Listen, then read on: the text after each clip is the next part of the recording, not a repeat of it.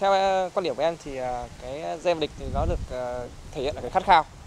Hà Nội thì luôn luôn khát khao có thể là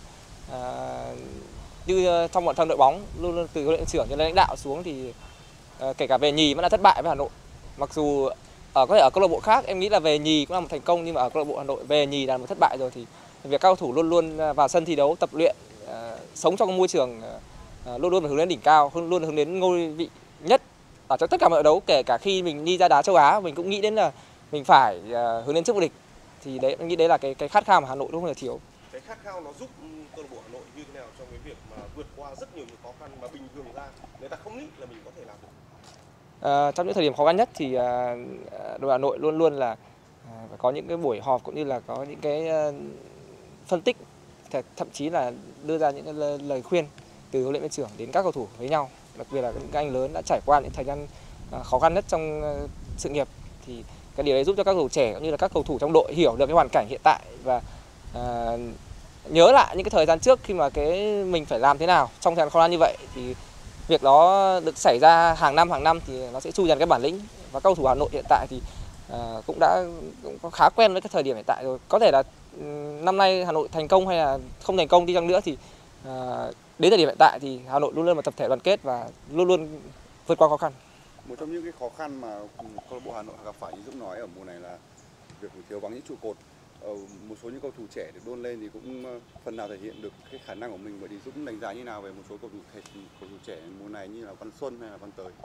À, các cầu trẻ thì đúng là đầu mùa thì họ có hơi khớp một tí, đúng là à, đương nhiên thì với các cầu trẻ thì à, việc lần đầu tiên chơi V-League không không phải là dễ dàng. À, bản thân tôi khi mà lên V-League cũng cũng gặp rất là nhiều khó khăn. Thì à, được sự chia sẻ của bao luyện này, các cầu thủ à, lớn tuổi trong đội thì họ đã tiến bộ qua thời buổi tập, qua các trận thi đấu thì à, đến thời điểm hiện tại thì tôi nghĩ là các bạn ấy chưa thực sự phải là một người trưởng thành đâu, vẫn cần cần phải có sự ổn định hơn trong các trận đấu, có trận chơi hay trận chơi dở, qua trận này chơi ghi hai ba bàn trận sau có thể là đôi khi người ta không thấy. Thì ừ, cái cần nhất với một cầu thủ tại giải League đó là cái sự ổn định tại vì chúng ta phải chơi hai mươi mấy trận đấu cơ chứ không phải là chơi một hai trận xong đâu. À, chơi hai mấy trận thì đấy là cái điều mà cầu thủ trẻ sẽ sẽ sẽ sẽ trải qua và họ sẽ trưởng thành trong từng giải đấu một.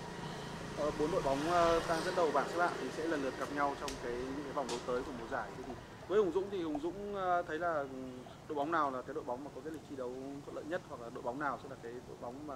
đối thủ lớn nhất của Hà Nội trong cuộc đua à, với Hà Nội thì hiện tại thì à, có lẽ là Viettel và Sài Gòn FC sẽ là những đối thủ trực tiếp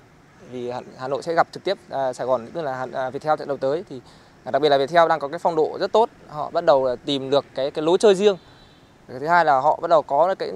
dù gì thì họ trong đội có những cầu thủ bản lĩnh và kinh nghiệm họ cũng đã uh, chinh chiến qua rất nhiều ờ, giải đấu rồi. Ví dụ như là Trọng Hoàng cũng đã từng vô địch V-League rồi hay là uh, Quế Học Hải hay những cầu thủ đã có kinh nghiệm cả đội tuyển quốc gia nữa. Thì đấy là những cái đầu tàu giúp cho Viettel có được thời điểm tốt ở thời điểm hiện tại.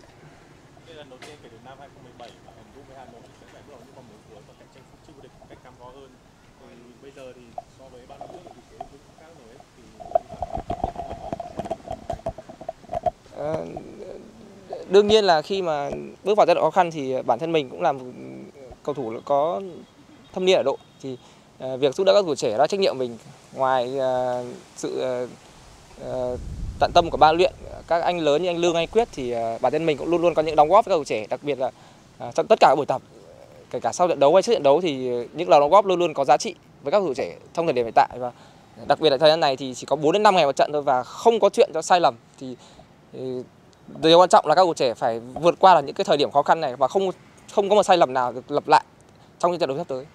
Viettel và Sài Gòn thì là hai cái đội bóng mà có cái sự ảnh hưởng, cái dấu ấn của ngoại binh ở mùa này rất là lớn.